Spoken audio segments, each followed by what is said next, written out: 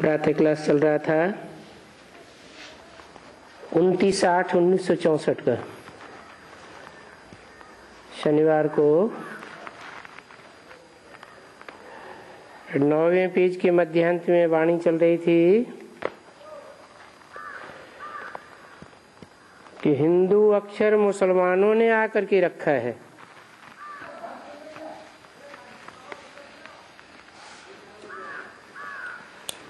उन्होंने क्या रखा नाम? हिंद। माने हिंसा। और दू, माना दुईते, दूर करने वाले। मुसलमान आए तो उनसे तो हिंसा रुकती ही नहीं। क्योंकि मुसलमानों में तो इस्लामियों में तो काम विकार बहुत होता है। तो उन्होंने हिंदुओं से टैली करके ये नाम रखा कि हिंदू उनको कहा जाता है जो काम विकार की हिंसा को दूर करते हैं। क्योंकि यहाँ तो पहले देवताएँ थे।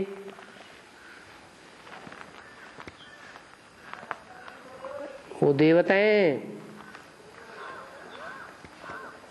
कर्मेंद्रियों से कोई हिंसा नहीं करते थे। और जब से ये मुसलमान आए, इस्लामी आए, इन्होंने हिंसा करना शुरू कर दिया। तो फ़र्क देखा उन्होंने तो यहाँ के लोगों को नाम ही दे दिया हिंदू। और जहाँ ये हिंदू रहते हैं, उस स्थान का नाम रख दिया हिंदुस्तान।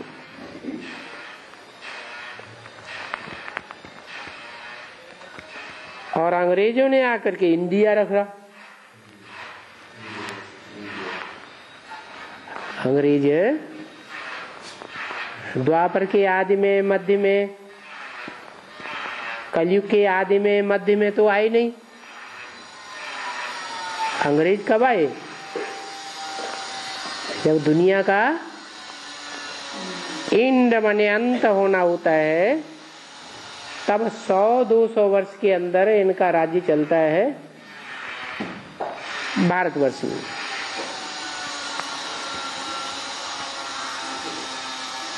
तो इन विदेशियों का राज्य है, चाहे इस्लामी हो, चाहे क्रिश्चियंस हो, इनका राज्य खत्म करने के लिए जो शक्ति इस संसार में काम करती है, उसका नाम रख दिया इंडिया। बाबा ने भी बोला है, भारत माता, शिव शक्ति अवतार, अंत का यही नारा है। दुनिया से पापियों का अंत हो जाता है। पाप की दुनिया का ही अंत हो जाता है। ऐसी शिव शक्तियाँ अवतरित होती है। तो सारी सृष्टि का पूरा ही कल्याण करने के निमित्त बन जाती असुरों का, राक्षसों का, हिंसक लोगों का, दुख देने वाले लोगों का नाश होगा तो कौन रह जाएँगे? तो सुख देने वाले देवता रह जाते हैं। उनके द्वारा नई दुनिया चलती है। और सुखदाई बनाता कौन है? जैसे मुसलमान अल्लाह कहते हैं। अंग्रेज़ लोग गॉड फादर कहते हैं। वही गॉड फादर वही अल्लाह। हिंदुओं में उनको शिव कहते हैं, भगवान कहते हैं। वो भगवान इस सृष्टि पर आकर के चाहे देवताएँ वाली आत्माएँ हो, जो हिंदू बन गई, चाहे इस्लामी मुसलमान हो, चाहे क्रिश्चियंस हो या इस दुनिया के कोई भी नास्तिक हो, किसी भी धर्म के हो, उन सब विपरीत धर्म वालों का खात्मा कर देता है।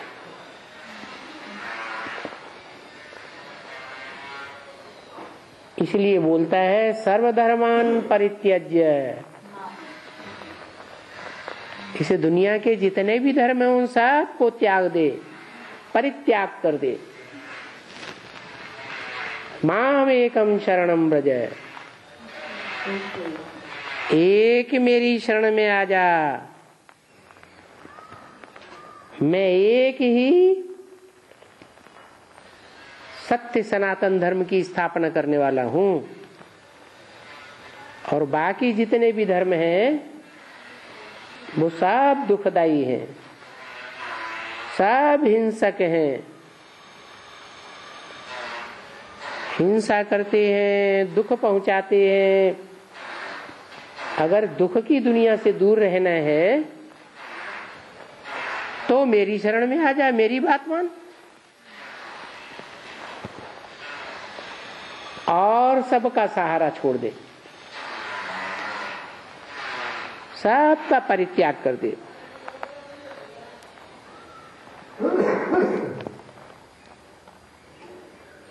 तो बताया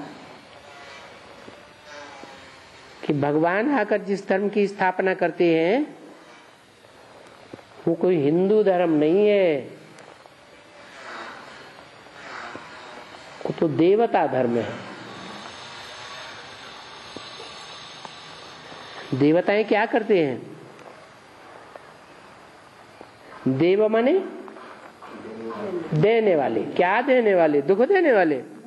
नहीं, सुख देने वाले।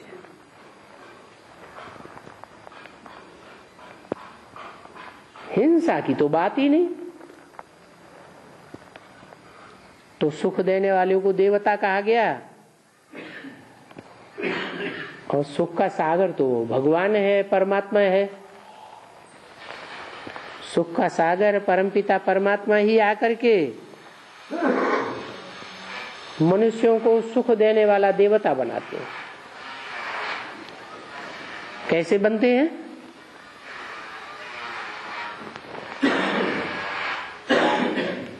अद्वैत से बनते हैं देवता और द्वैत से बनते हैं दैत्य, अर्थात राक्षस।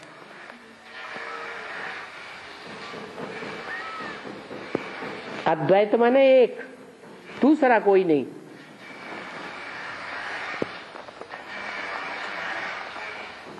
इसलिए बोला, सर्वधर्मान परित्यज्य। और सब धर्मों को छोड़ दे।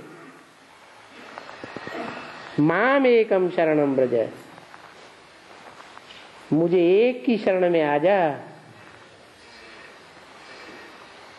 दूसरे की शरण में जाएगा, दूसरे की बात मानेगा तो द्वैतवादी हो जाएगा, द्वापर में जाकर के जन्म मिलेगा। दैत्यों की दुनिया में। वो सिर्फ़ सुख नहीं देते हैं, वो दैत्य सुख कम और दुख ज़्यादा देते हैं। तो द्वैतवादी युग कहा जाता है, द्वापर युग। जहाँ दो दो धर्म होते हैं, दो दो राज्य होते हैं, दो दो कुल होते हैं, दो दो मतें होती हैं, दो से चार चार से आठ मत भिन्नता बढ़ती जाती है। और दुनिया में लड़ाई झगड़े बढ़ जाते हैं। इसलिए भगवान ने कहा है, यदा यदा ही धर्म से ग्लानिर्भवती भारत। जब जब धर्म की ग्लानी होती है भारत में, तब तब मैं आता हूँ। किससे कहा? भारत। भा माने रोशनी, ज्ञान की रोशनी में जो रत लगे रहते हैं, उनका नाम रखा भारत। अर्जुन कहो, जो ज्ञान की बातों में बुद्धि रमण करेगा, भगवान के ज्ञान में बुद्धि लगाएगा तो वो देवता बनेगा। एक भगवान का ज्ञान ही है जो सुख की दुनिया बनाता है। बाकी जो भी मनुष्य गुरु है, मनुष्य धर्म पिताएँ हैं, वो सब दुख की दुनिया बनाते हैं। उनके आने के बाद ये दुनिया और ही जाती, दुखी होती जाती है। उन धर्म पिताओं के धर्मावलंबी समझते हैं कि हमारे धर्म पिता आकर के सुख की दुनिया बनाते हैं। स्वर्ग बनाते हैं। लेकिन नहीं, स्वर्ग सिवाय एक परम पिता परमात्मा के और दुनिया में कोई भी स्वर्ग नहीं बना सकता। नरक को स्वर्ग बनाना, ये सिर्फ़ एक का ही काम है। इसलिए बताया, ये नरक कब बनता है? जब धर्म की जगह अधर्म की स्थापना होती है। धर्म माने धारणा। अच्छे अच्छे गुणों की धारणा करना भगवान ही सिखाता है। और कुछ न कुछ धर्म की बातों में अधर्म की बात अपनी मनमत ज़रूर ऐड कर देंगे। शुद्ध ज्ञान कौन देता है? एक ही परमपिता परमात्मा शुद्ध ज्ञान देता है। तो बताया, अभी गीता में भगवान वाच्य है और उन्होंने इसका नाम हिंदुस्तान रख दिया, इंडिया रख दिया,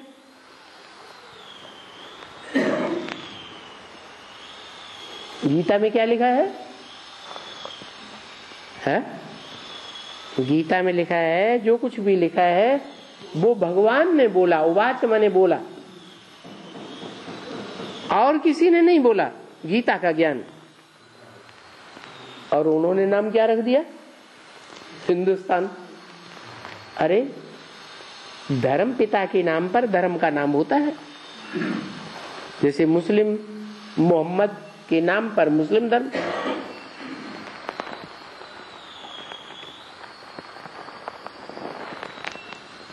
ईश्वर की बताई हुई शिक्षाएँ, सीख जिसने दी,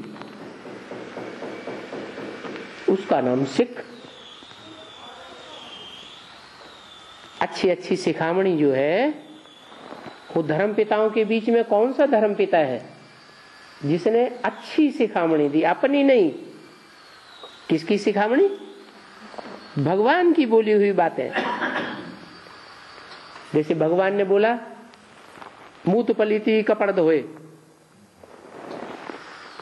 कपड़ा कहा जाता है शरीर को। तो मूत पलीती कपड़ा, जो शरीर रूपी कपड़ा है, वो मनुष्य धोएगा या भगवान धोएगा? है?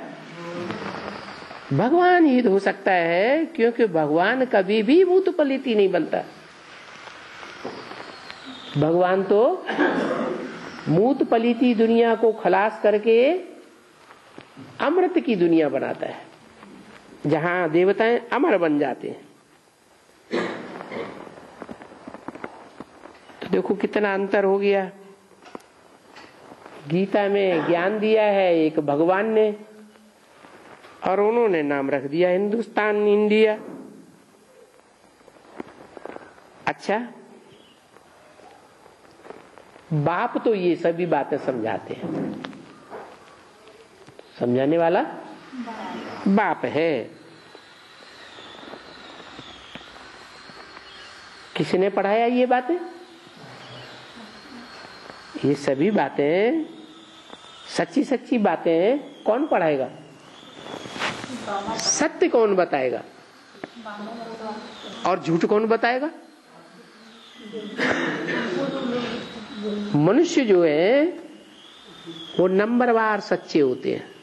सौ परसेंट सच्चा कोई मनुष्य इस दुनिया में होता ही नहीं।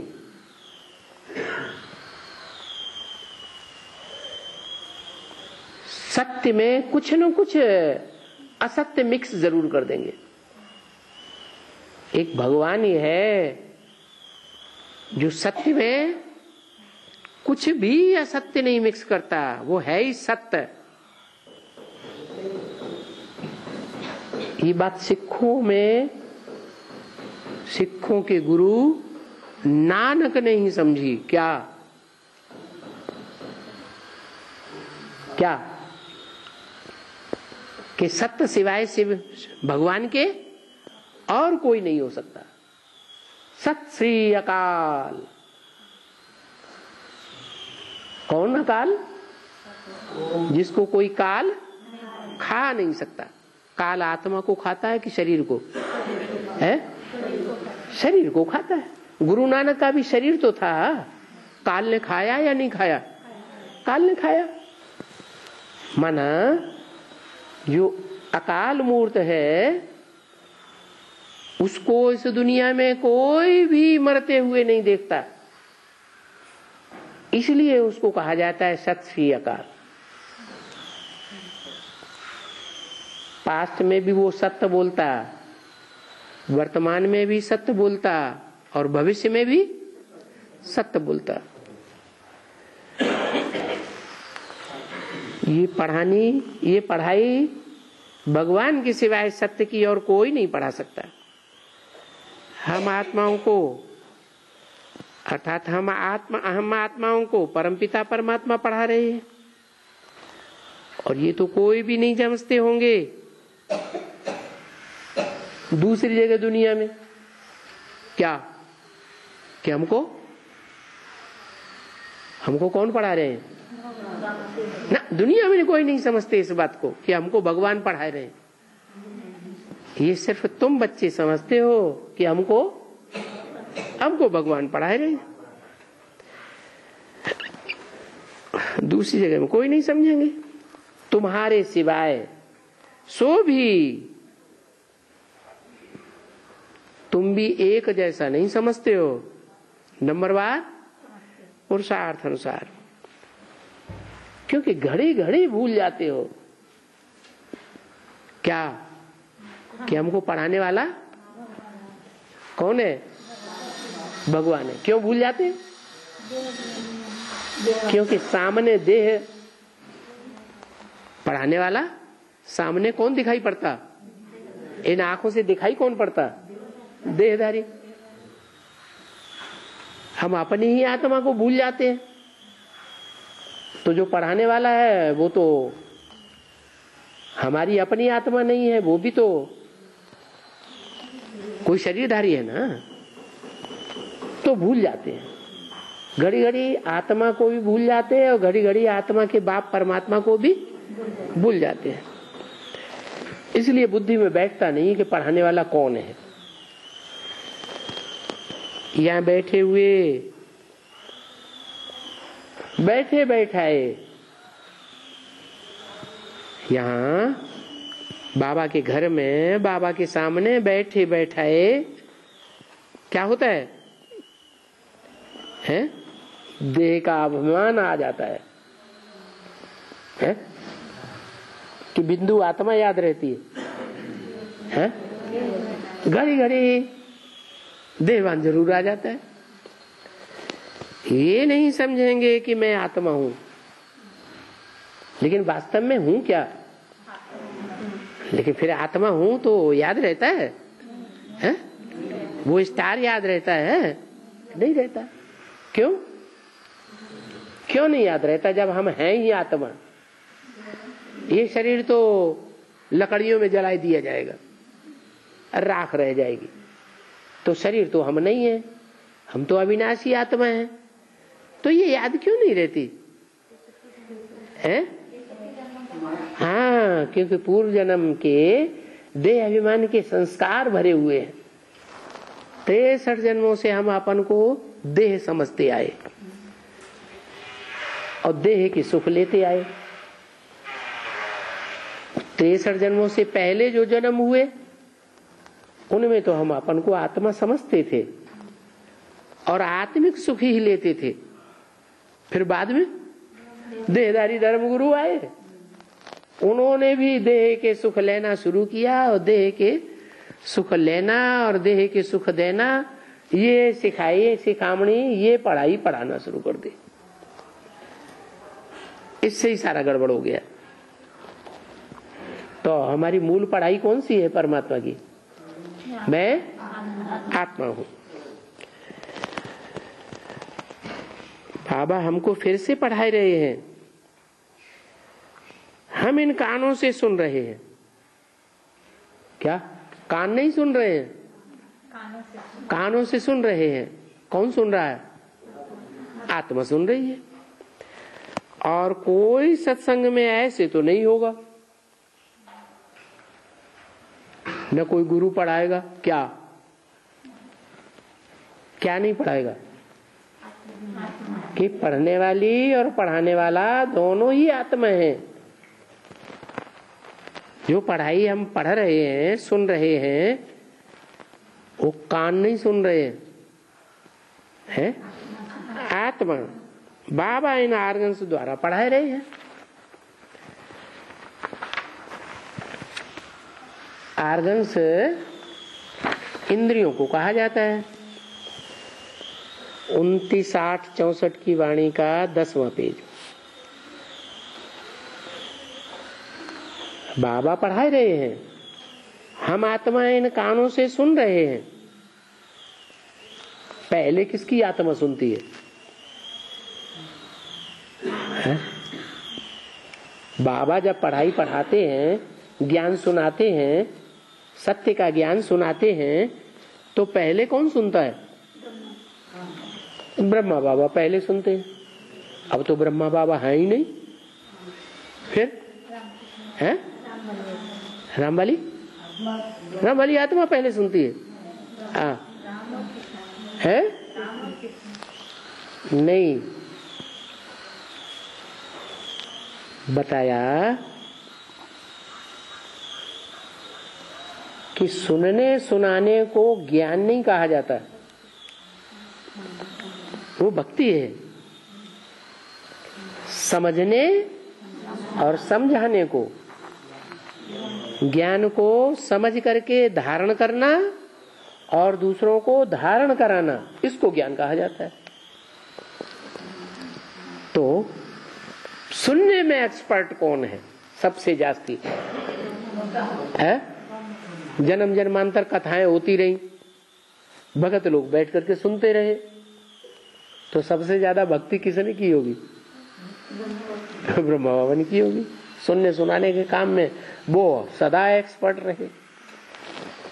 तो पहले इनके आर्गन सुनते हैं। ये नहीं कहा कि इसके आर्गन सुनते हैं। इसके और इनके में क्या अंतर है? पहले इसके आर्गन सुनते हैं। फिर बोला, इनके आर्गन सुनते हैं। क्या अंतर हुआ? इनके माने, कम से कम दो हैं। तो रामकृष्ण की आत्माओं के आर्गन से पहले सुनते हैं। ज़रूर सुनते हैं। ये भी तो ज़रूर पढ़ते होंगे। कौन? ये, यह नहीं, यह माने एक, और ये माने कम से कम दो हैं। रामकृष्ण की आत्माएँ भी पढ़ने वाली है या पढ़ाने वाली है? पढ़ने वाली है। लेकिन हम बच्चे घड़ी घड़ी भूल जाते हैं। क्या? पढ़ाने वाला कौन है? शिव बाप, जो जन्म के चक्र में ही नहीं आता। और पढ़ने वाले? हम सब बच्चे और उनमें पहले पहले सुनने वाले कौन? रामकृष्ण की आत्मा। बरोबर, ये पढ़ते ज़रूर हैं। पढ़ाते भी ज़रूर हैं। ऐसे नहीं कि ये पढ़ाते नहीं है। कौन? रामकृष्ण की आत्माएँ पढ़ाती नहीं है, सिर्फ़ सुनती है, ऐसी बात नहीं। पढ़ते भी ज़रूर हैं, पढ़ाते भी ज़रूर हैं। और इनकी आत्मा याद में भी रहती रहती होगी।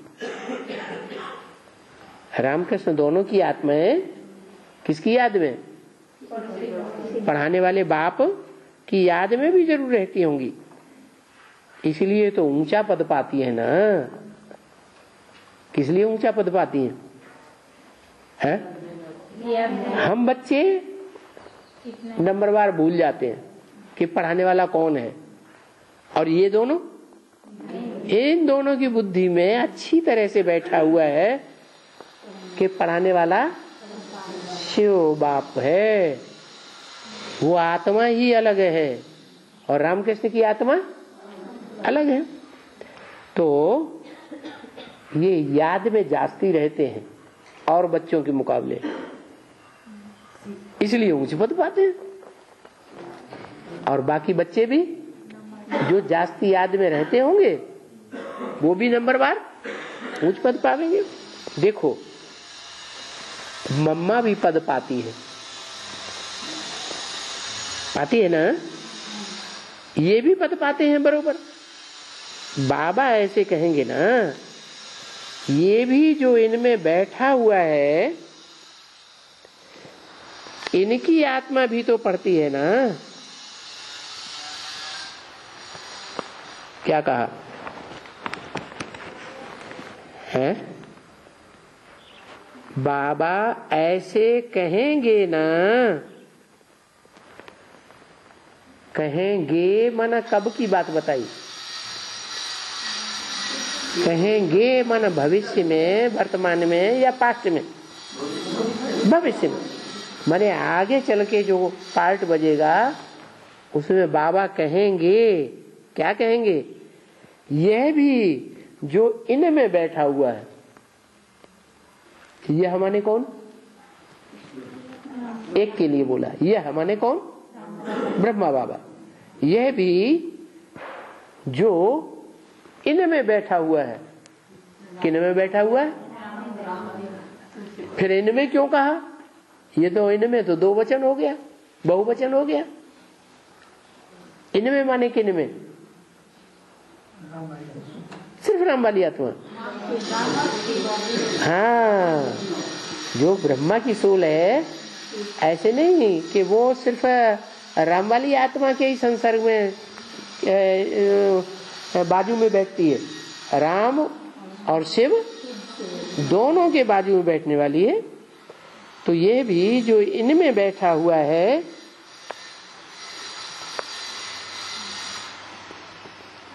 तो कहेंगे, इनकी आत्मा भी तो पड़ती है ना। किनकी? राम और कृष्ण की आत्मा भी तो पड़ती है ना। ये भी कहेंगे, मैं भी तो बाबा से पढ़ता हूँ ना। हाँ इसमें बाबा का प्रवेश है। किसमें? है? किसमें बाबा का प्रवेश है? इसमें बाबा का प्रवेश है। इसमें माने किसमें? रमल आत्मा में। तो उस समय प्रवेश है है माने उस समय की मुरली चलाई हुई है ना? चौसठ की है मुरली। हाँ इसमें बाबा का प्रवेश है। किसका प्रवेश है? बाबा का प्रवेश। इसलिए यह जहाँ भी जाएगा, बच्चे बैठेंगे और कहेंगे, बाप दादा आया हुआ है। क्या? सिर्फ़ बाबा नहीं, बाप और दादा आया हुआ है। बच्चे बैठेंगे बच्चे बैठेंगे, माने कब की बात? वर्तमान चौसठ की बात या भविष्य की बात? भविष्य के लिए बताया। ये जहाँ भी जाएगा बच्चे बैठेंगे और कहेंगे कौन आया हुआ है? बाप दादा आया हुआ है। बाप माने कौन? शिव बाप। हाँ। सिर्फ़ शिव बाप। शिव बाप बिंदी रूप में अगर आ जाए तो कोई पहचानेगा? कैसे पहचानते हैं शिव बाप जब साकार में आता है, तभी तो पहचानते हैं। तो शिव बाप राम बाप में प्रवेश करता है। तो बाप हुए दोनों। वो आत्माओं का बाप, बेहद का, और ये मनुष्यों का बाप, बेहद का। कौन? राम वाली आत्मा। तो वो हुआ बाप और दादा। दादा कौन हुआ? दादा कौन हुआ? जो मनुष्य सृष्टि रूपी झाड़ है, उसमें बड़ा भाई कौन है? कृष्ण वाली आत्मा, पहला पत्ता, पहला उठी का बच्चा। तो वो सब का दादा हो गया। क्या? तो बच्चे बैठेंगे और कहेंगे, बाप दादा आया हुआ है, बस। बाप दादा एक हुआ है या दो? दो है। तो बाप दादा आए हुए हैं, ऐसे कहना चाहिए। ऐसे क्यों कहा? बाप दादा आया हुआ है। है माने एक, है माने बहुत, दो, कम से कम। तो बाप दादा आया हुआ है, ऐसे क्यों कहा? क्योंकि एक ही शरीर में दोनों है, इसलिए आया हुआ है। बस। बाप निराकार है, दादा साकार है।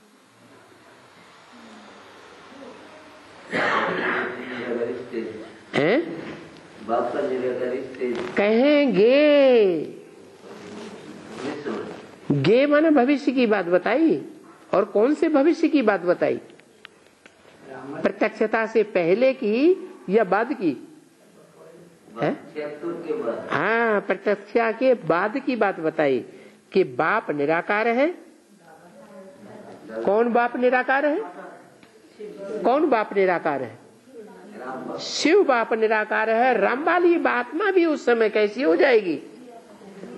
निराकारी स्टेज वाली हो जाएगी। दोनों मिलकर के बाप कहा गया। एक बाप। ऐसे नहीं शिव बिंदी आ जाए तो एक बाप दूसरा न कोई। ऐसे नहीं। एक बाप दूसरा न कोई कब कहा जाए? जब वो बिंदी निराकार किसी साकार एक में मुकर्र रूप से प्रवेश करती है तो बोला बाप निराकार है दादा साकार है। दादा माने? ब्रह्मा वाली आत्मा साकार। साकार माने? तो शरीर छोड़ भी दिया। तो भी जब प्रत्यक्षता हो जाएगी तो सारे ब्रह्मा कुमार जो है दुनिया में, उन सबकी बुद्धि में नंबरवार जल्दी जल्दी बैठेगा कि नहीं? क्या बैठेगा? कि कृष्ण की आत्मा भी इसमें है। तो जब है उसमें तो साकार में है, साकारी है या निराकारी है? साकारी दादा भी साकार है। दोनों इकट्ठे हैं। ऐसे कहेंगे, ऐसे तो कोई बाप दादा हो ही नहीं सकते हैं दुनिया में। कैसे? एक ही शरीर में? दो आत्माएँ? बाप भी मनुष्य तो दादा भी मनुष्य ये क्या बात हुई? कौन सा बाप मनुष्य? शिव बाप? है मनुष्य सृष्टि का बाप, वो भी मनुष्य अगर ब्रह्मा कुमारों से ये मुरली पढ़ाई बढ़ाई जाए तो वो हाथ ये निकालेंगे, बाप भी मनुष्य। है? बाप मनुष्य है कि भगवान है? निराकार। वो तो कहेंगे, निराकार भगवान। लेकिन हमारी समझ में आता है कि बाप निराकार संसार में कैसे प्रत्यक्ष होगा? साकार में आता है तो मनुष्य रूप में आया तो मनुष्य हुआ। मनुष्य हुआ तो मनुष्य जैसे कर्म करेगा या नहीं करेगा? कर्म भी मनुष्य जैसे करता है। कर्म करके भगवान दिखाता है कि ऐसे ऐसे कर्म करो। तो संसार अनुगमन करता है। फॉलो करता है।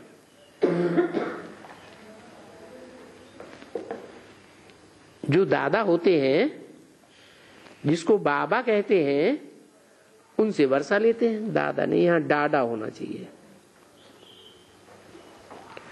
डाडे माने बाप का बाप। डाडे माने बाप का बाप। बाप दादे। और दादा माने बड़ा भाई। हाँ। जो दादा होते हैं,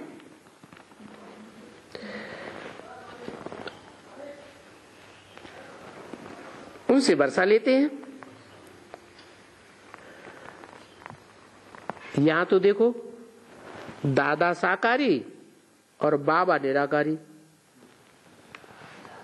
क्या?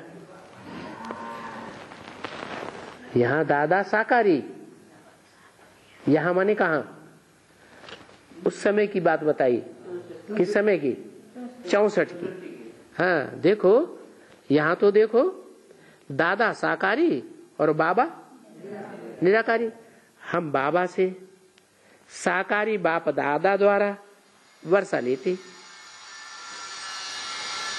क्योंकि दादा, डाडा, बाबा, कितने शब्द हुए? तीन शब्द। दादा, माना बड़ा भाई। दादा माना ग्रैंडफादर और फिर बाबा। जो बड़ा बाप का बाप होता है, उसको भी तो बाबा कहते हैं ना। वो बूढ़ा होता है या नौजवान होता है? बूढ़ा होता है इसलिए। बाबा कहते हैं सब के सैलवेज में अलग अलग होते हैं ना। नहीं सब की लैंग्वेज में अलग अलग होते हैं ना। तो बच्चों को कितना समझना है और कितना देही अभिमानी आत्मा हूँ। आत्मा समझना है। अभी हम चौरासी चोला पूरा चक्कर किया। तुम्हारा चौरासी का चक्कर हुआ ना? अभी बाबा आया हुआ है, ले जाने के लिए। क्या? अभी बाबा आया हुआ है, ले जाने के लिए। हमको बोलता है, मेरे को याद करो। कौन बोलता है? हैं? शिव बाप शिव बाप कैसे बोलेगा? शिव तो बिंदी का नाम है। वो तो आत्माओं का बाप है। बाबा कहाँ है? शिव ज्योति बिंदु, वो आत्माओं का बाप है या बाबा? ग्रैंडफादर है। बाप है। वो कैसे बोलेगा? वो तो निराकार है। बोला बाबा आया हुआ है, ले जाने के लिए। बाबा आया हुआ है, ले जाने के लिए। कौन आया हुआ है? अरे, कौन आया हुआ है? अरे, शिव बाबा शिव बाबा आया हुआ है। शिव बाप आया हुआ है, ले जाने के लिए। कहा ले जाएगा? परम धाम ले जाए? बाबा परम धाम से आता है। बाप आता है आत्माओं का, बाप परम धाम से आता है। बाबा कहाँ से आता है? बाबा आया हुआ है। ले जाने के लिए कहाँ ले जाएगा? है? अरे। ब्रह्मा कुमार कुमारी यही समझते हैं कि निराकार ज्योति बिंदु आया हुआ है। हम आत्माओं को कहा ले जाने के लिए? परम धाम ले जाने के लिए। है? ऐसे ही समझते हैं लेकिन यहाँ वास्तव में बोला क्या है? अभी बाबा आया हुआ है। दादा नहीं। दादा तो ये है, जो मेरे बाजू में बैठा है। ऐसे बोला ना मुरली में? अभी बाबा आया हुआ है। बाबा माने क्या? है? साकार और निराकार का मेल। वो आया हुआ है। ले जाने के लिए कहा ले जाने के लिए? है? अरे, बाबा आया हुआ है तो कहा ले जाएगा?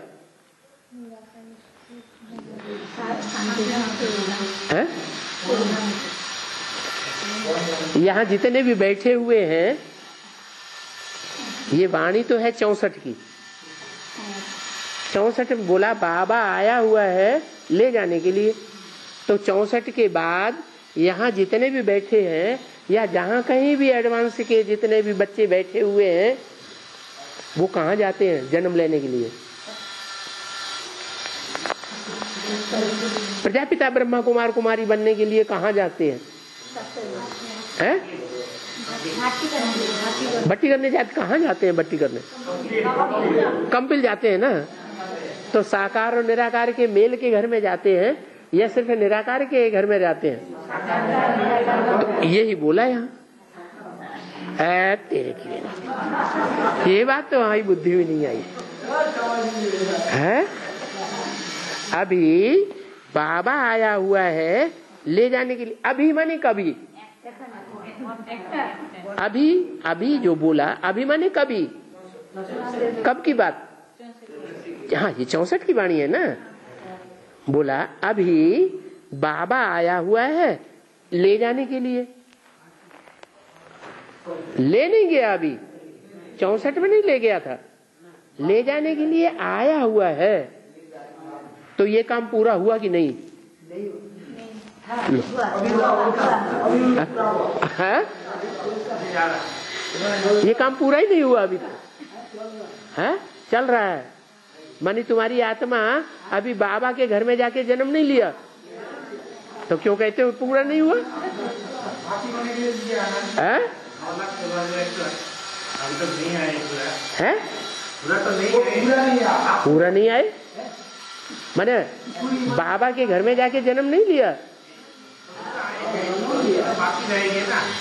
क्या? बाकी है क्या? एक आदमी। अभी बाप के घर नहीं आए अभी गए नहीं। बिना गए कैसे जन्म ले लिया?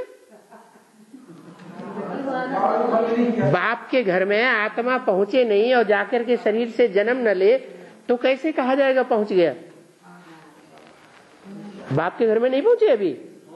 पहुँचे। लेकिन अभी दुकान में बैठा दिया है बाबा ने। ये मत समझो हम अपनी घरवाली के घर में बैठे हैं। यही लफड़ा है। कहा बैठे हैं? बाबा ने हमें दुकान में बैठा दिया है। बच्चे ये तुम्हारा घर नहीं है। घर और घरवाली भूल जाओ। तुम आपस में क्या हो? भाई बहन है। वो भाइयों को नहीं याद रहता, वो नहीं बोलते हैं। माताएँ जल्दी जल्दी बोलती हैं। हम आपस में क्या हैं? भाई बहन हैं। एक प्रजापिता ब्रह्मा की औलाद है। तो भाई बहन है तो हम एक बाबा के बच्चे हैं ना? तो बाबा आया हुआ है, वो काम पूरा हुआ कि नहीं? है?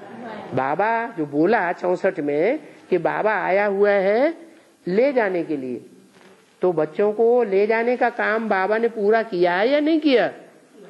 है? किया। हमको बोलता है, बाबा आया हुआ है हम बच्चों को ले जाने के लिए। हमको बोलता है, मेरे को याद करो, और ये जो भी नॉलेज है वो तुमको दे रहा हूँ। मेरे को याद करो, ये सृष्टि का चक्र कैसे फिरता है? जन्म कैसे कैसे मिलते हैं, वो सब याद करो। तो याद आया कुछ? हाँ? जन्म कहाँ कहाँ कैसे कैसे मिलते हैं कुछ याद आया? नहीं याद आया। है? क्या याद आया बताओ। है?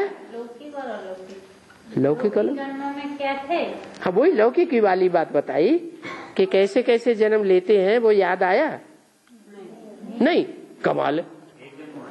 अरे इसका मतलब अगर आपसे पूछा जाए कि आप अरब देश में जाकर के जन्म लेंगे और वहीं जन्म जन्मांतर रहेंगे।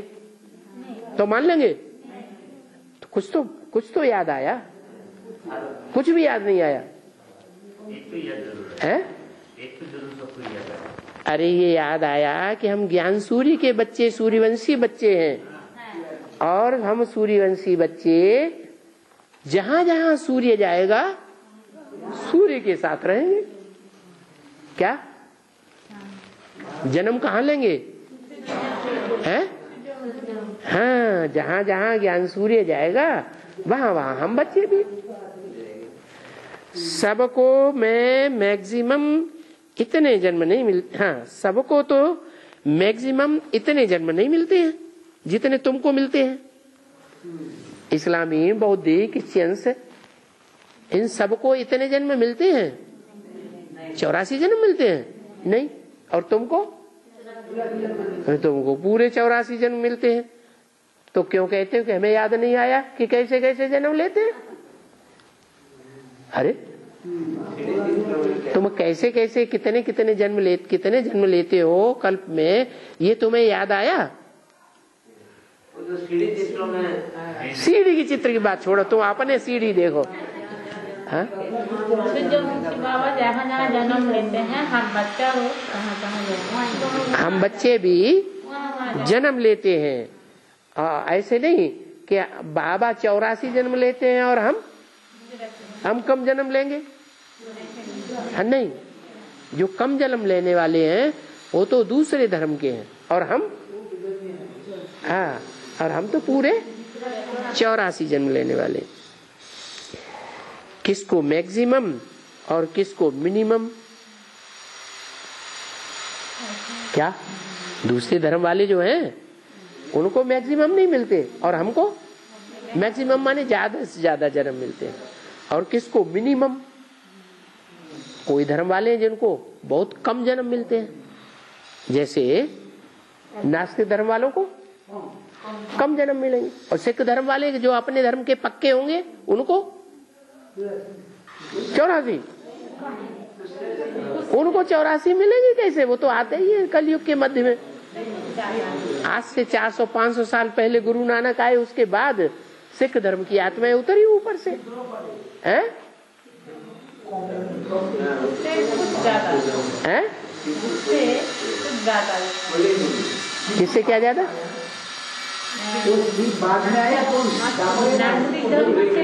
सिख आज से 400-500 वर्ष पहले जब गुरु नानक आए, तब उनके पीछे पीछे सिख धर्म की जो पक्की आत्माएँ किसी दूसरे धर्म में कन्वर्ट नहीं होती हैं, वो आती हैं।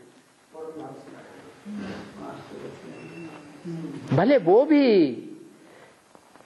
देवी देवता धर्म को सपोर्ट करेंगी, लेकिन जन्म उनके कम होंगे। लेकिन वो जिनमें आती है, जिनमें प्रवेश करती है, उनके जन्म है चौरासी।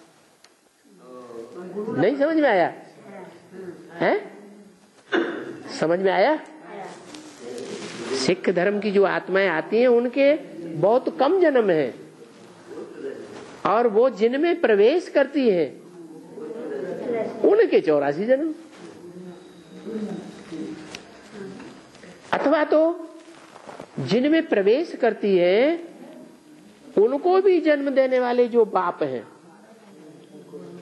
उनको तो पक्के पक्के चौरासी जन्म, क्योंकि वो बीज रूप आत्मा है।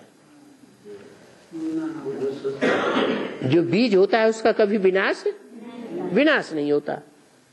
अभी पत्थर में बीज डाल दो। ऐसे ही पड़ा रहेगा। कभी तो पत्थर टूटेगा। पत्थर टूटेगा, मिट्टी बनेगा, बीज पैदा होगा। अच्छा सूखी ज़मीन में बीज डाल दो। पानी है ही नहीं। पैदा होगा? नहीं पैदा। पानी बरसेगा? और वो बीज पैदा हुआ। तो बीज जो है, वो अविनाशी होता है। क्या? बीज रूप जो आत्माएँ हैं, वो अविनाशी है। और वो हर धर्म की हैं। क्या? किसी एक धर्म की नहीं है बीज रूप, बीज। जैसे कोई झाड़ होता है तो उस झाड़ में पीपल भी पैदा हो जाता है।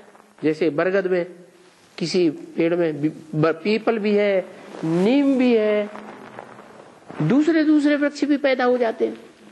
एक ही झाड़ में अनेक प्रकार के बीज के वृक्ष पैदा होते हैं। तो ये वैरायटी झाड़ है। इस वैरायटी झाड़ के बीज भी वैरायटी है।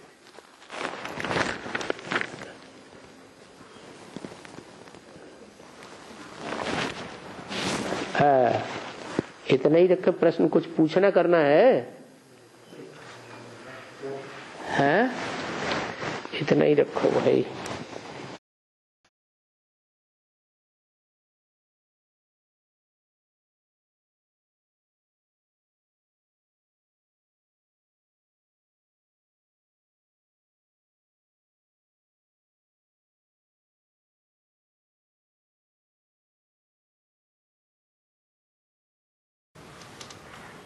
भगवान बाप अभी कहते हैं, बच्चे, देह के सभी धर्म भूलापन को आत्मा समझो और अपने बाप को याद करो, क्योंकि अभी ये खेल पूरा होता है। क्या? ये शुरू होता है तो रंगमंच पर एक्ट होती है,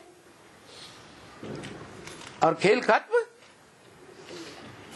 तो ये जो षष्ठी रूपी रंगमंच है, उस पर नाटक होता है? नहीं। देखते नहीं हो। विनाश हो रहा है। हा? अरे। देखते हो? वो ढाई हज़ार साल से विनाश नहीं हो रहा है। अरे, हो रहा है कि नहीं? ढाई हज़ार साल पहले, जब षष्ठी में अर्ध विनाश हुआ था, उसके बाद से लगातार विनाश हो रहा है या नहीं हो रहा है? धीमी गति से पहले होता है, फिर बाद में तीव्रता बढ़ती जाती है। तो विनाश हो रहा है और फिर गेट्स खुल रहे हैं। क्या? जितना जितना इस षष्ठी रूपी रंगमंच पर विनाश होता जाएगा, उतना उतना गेट्स भी खुलते जाएँगे। पहले मनसा के गेट्स खुलेंगे। कि इंडिया गेट खुल पड़ेगा? है? पहले मनसा की बात है। तो गेट्स खुल रहे हैं। किसके गेट्स खुल रहे हैं? हैं? मुक्ति, फिर जीवन मुक्ति के गेट्स खुल रहे हैं। कैसे समझे? मुक्ति के गेट खोल रहे हैं। जीवन मुक्ति तो बाद की बात है। पहले तो मुक्ति। कैसे समझे? मुक्ति रूपी गेट खुल रहे हैं? अरे अरे, कुछ अनुभूति होनी चाहिए कि नहीं? क्या अनुभूति हो प्रैक्टिकल जीवन में? कोई अनुभूति नहीं। मन मुक्त हो गए। कोई अनुभूति नहीं, वो तो सन्यासी भी करते आए। प्राणायाम चढ़ाते हैं कुंभक की प्रक्रिया का अभ्यास पक्का कर लेते हैं। और नील स्टेज में बैठ जाते हैं। कोई अनुभूति होती है? हैं? नील स्टेज में कोई अनुभूति नहीं होती। और तुमको तो मुक्ति की अनुभूति होनी चाहिए।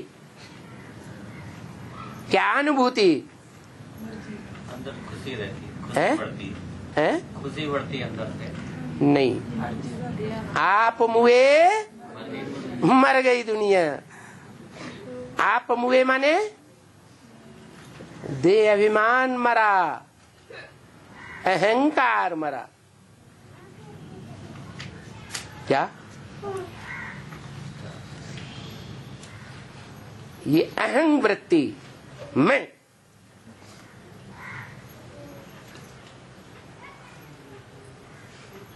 तय नहीं। ये नहीं वो नहीं। मैं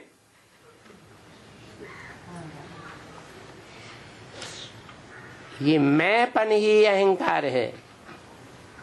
मैं नहीं किया मैं कर सकता हूँ मैं ये कर दूँगा। देखो मैं क्या करता हूँ। ये क्या है? अरे। गीता में तो पहले ही लिख दिया है। प्रकृति क्रियमाणाने गुण कर्माणि सर्वश। अहंकार विमूढ़ात्मा करता हम इति मन्यते। क्या प्रकृति के द्वारा प्राकृतिक रूप से इस आत्मा रूपी रिकॉर्ड में पाँच हज़ार वर्ष का पार्ट पहले से ही नुदा हुआ है।